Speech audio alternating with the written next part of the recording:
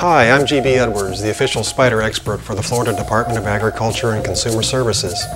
This is Frida, a non-native Mexican red-rumped tarantula. This species is now established in Florida because someone released others of her species after they were tired of having them as pets.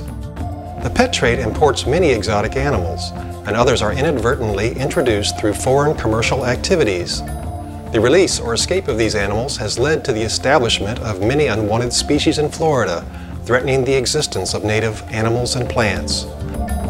Be a responsible exotic pet owner. Don't release them into the wild. If you can no longer care for your pet, return it to the pet store or find a good home for it. In the case of spiders, Florida has over 750 species. Most are native and generally beneficial, eating unwelcome insects like cockroaches and mosquitoes. Spiders may look scary, but they're actually pretty cool. Right, Frida? Want to hold her?